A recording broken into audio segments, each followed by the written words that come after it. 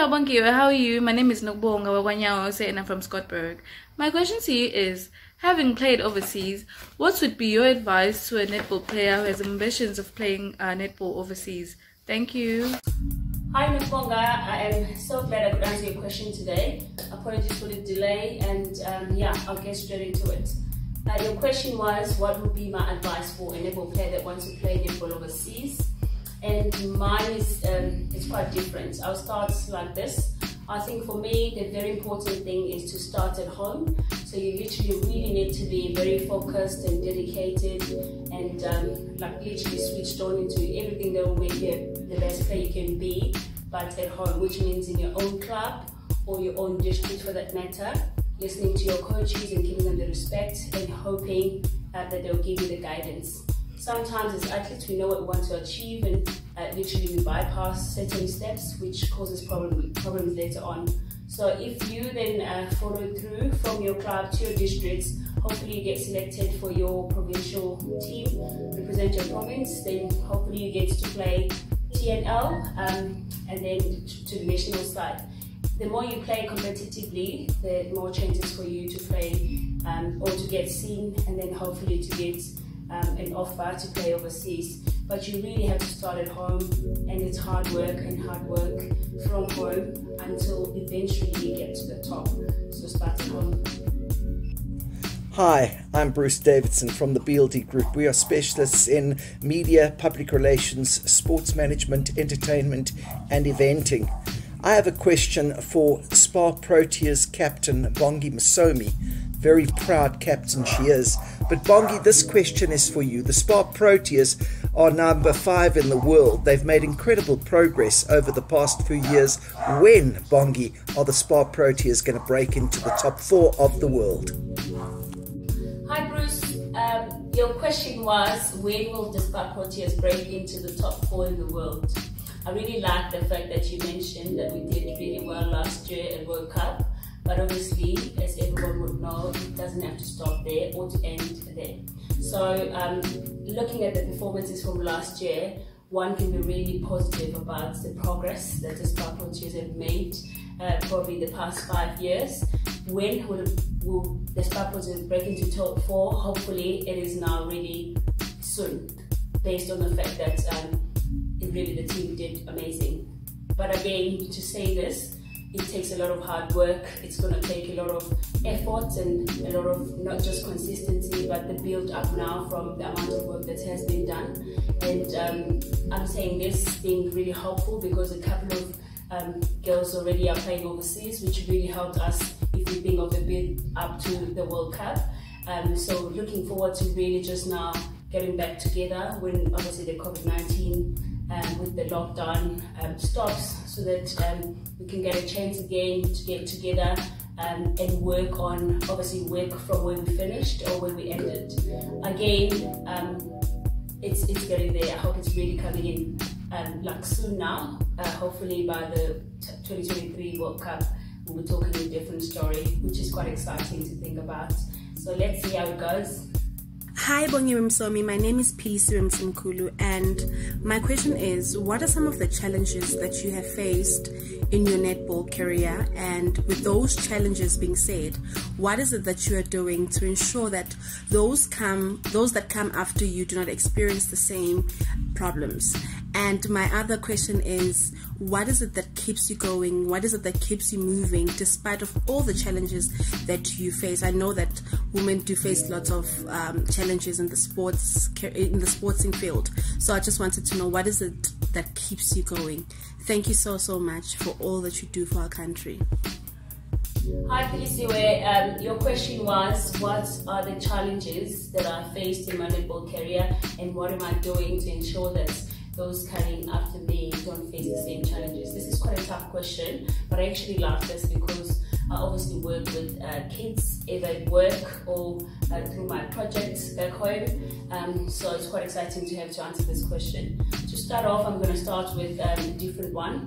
Uh, for me, basically, it's education. I can remember myself, um, let's say, basically in grade 11, um, starting netball, and at that time, I had really no idea of how important grade 11 is in your in terms of applications to go to university after your grade 12 um, how important it is to start then not just even start then probably to start way back to build up to coming to grade 11 and getting better results so that you can be able to apply and then getting into grade 12 and taking it seriously while whilst you're playing sports. I think for me it was more of um, just knowing that I will probably pass, but not really putting in the effort. And I think at this time, what I'm doing is now that I work at UJ, um, obviously I have athlete now to apply uh, to come into the university, and with that, there's a lot of obviously disappointment when athletes can't really get, um, you know, get into the university or can't be accepted because of their results. Uh, such great talents um, sometimes misses out because of that. Um, and I think that's uh, the more work that we can do, that I obviously do now, to try and educate um, athletes in terms of knowing exactly what's required uh, for you to balance um, your studies and your netball, uh, and how these two helps you into obviously getting into the university where you can be looked after um, and do both your netball, be like literally student athletes. Um, not just um, you know, academically only. And if I think of my grade 12, I wasn't really happy when I finished um, grade 12 with my results. Couldn't really do much about it. Was lucky to having to play uh, netball and could go see, um, you know, get guidance from the people that knew me in netball. I could write an entrance test, luckily, and I, like that I was able to do sport management. But from there, um, if I think back, I do I did realize only after my matric how important it is really to do well in school so you can get all these chances without having to go through so much worries. Uh, lots of challenges. There's, if we can talk about having to struggle with, you know, buying your own playing shoes, you know, having uh, proper training gear, um, transport money back and forth either to trainings or traveling to tournaments.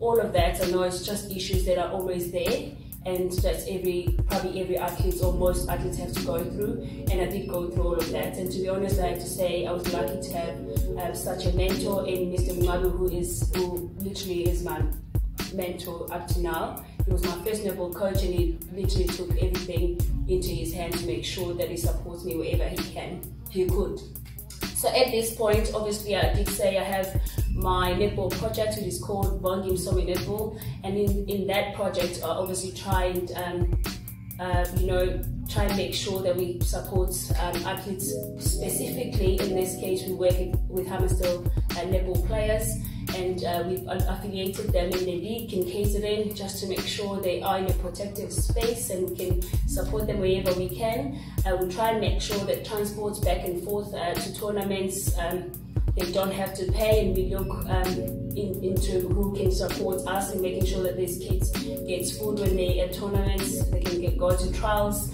you know, they can have a playing kits, they can have a kit, you know, to go from home to the tournaments without having to pay any money because we know it's a struggle to get all of that. I can tell you a lot um, about this, but um, I do really enjoy what I do now and I know it does help and I know how important it is because it's actually a build up of um, from just a young girl, if you're working with girls, into them being a professional athlete, which is what we're trying to achieve with the project. I hope this really answers your question. Hi, Bongiwe. My name is Nosipo Makanya from Adams Mission. My question to you is what demotivates you in sports? Also, what demotivates you in life? And uh, how do you come out of both situations um, in order to be the pers- the successful person that you are. Thank you.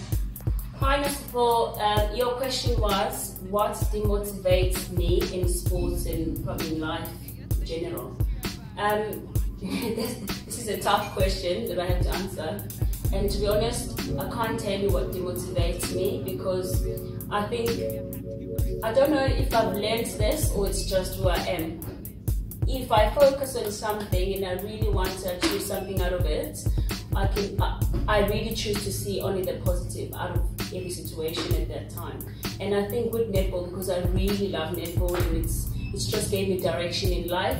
Um, so all that happens there, I always look at the positives. even if some challenges comes through and there's a lot, um, a couple of times I will be challenged in terms of uh, probably what's happening around the space of netball. I always look at what can I do now to make it work. And because of that, then I can't be demotivated. Like I, I always say to the kids I work with, you kind of have to know what you want to achieve.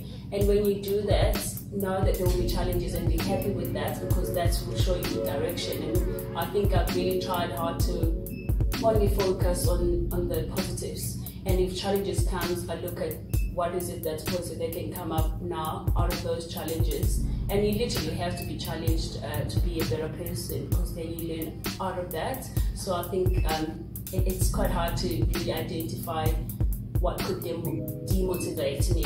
Probably in life as well, I live, I live by, you know, the fact that I have to be challenged. If I am challenged, and I have to see the positive out of that, so I can't be demotivated. I hope it makes sense. I know it's kind of a bit awkward, but that's that's that's how I am.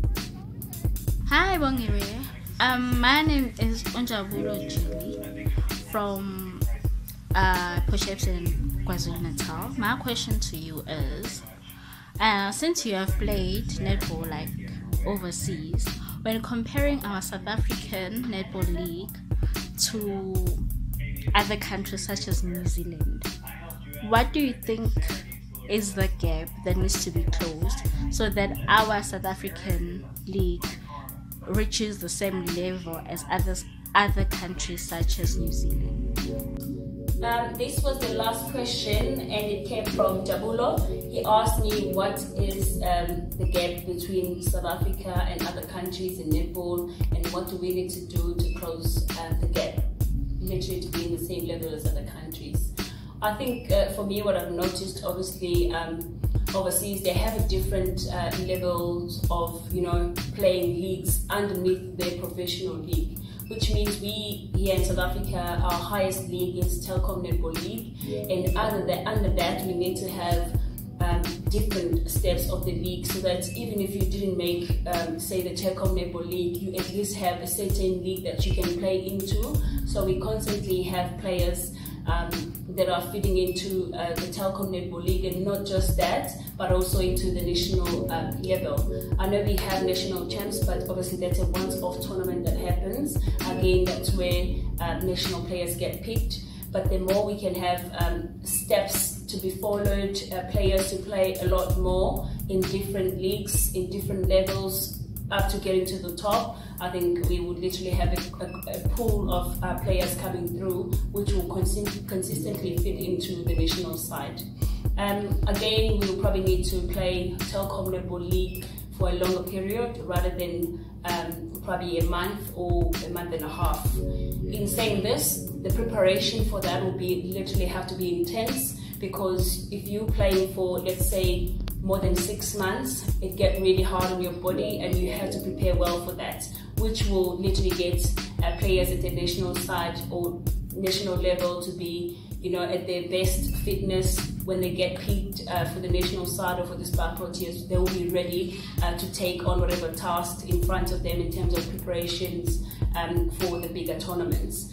Um, I think at this stage they are looking at that and making the league a little bit longer, which is quite exciting. Uh, that can be a, literally a, a, big step, and it's going to play a big role in ensuring that players are competing um, intensely for a little bit longer period compared to what's happening. There's a lot more into it, but development is really quite important because that gives you an edge in terms of players are competing and uh, what's the step the steps of you know preparing and making sure that we're fitting into the high levels.